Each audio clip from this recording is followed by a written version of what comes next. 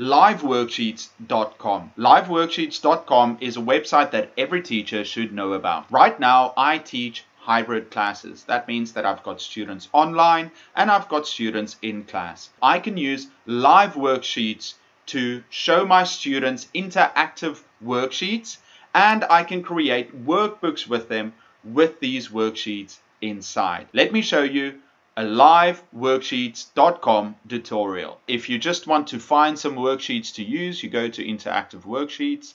You can pick what subject you have. I teach English as a second language. I can search for, let's say, past tense and it brings out some options. These are great. Look at this. You can use them in class with your students using a projector or if you're teaching online, you can also send these to your students. You copy and then you send it to them and they can actually do it, email you their answers if they want to or check my answers. What do I have? I've got 2 out of 10. There are many different types of worksheets, drag and drop. The best thing is you can also create your own interactive worksheets. You go here to make interactive worksheets, get started, log in, then you just go to upload. Very easy to use.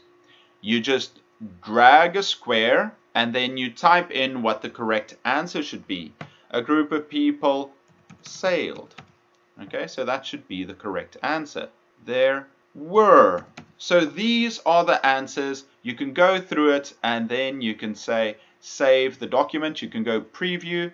We can see what it looks like. I can say sailed, were, and now finish.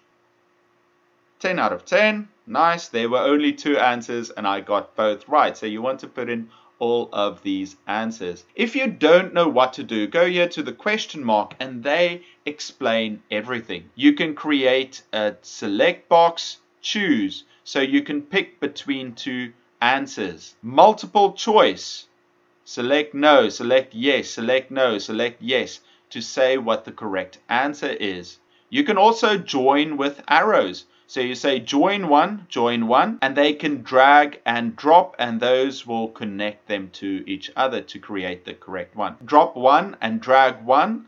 This is simple editing for you to create it. You drag it, you drop it there, and it's going to work. You can create some listening exercises by loading up some audio. Here they've got a file you can play. Word search, they've got a video explaining how to do that.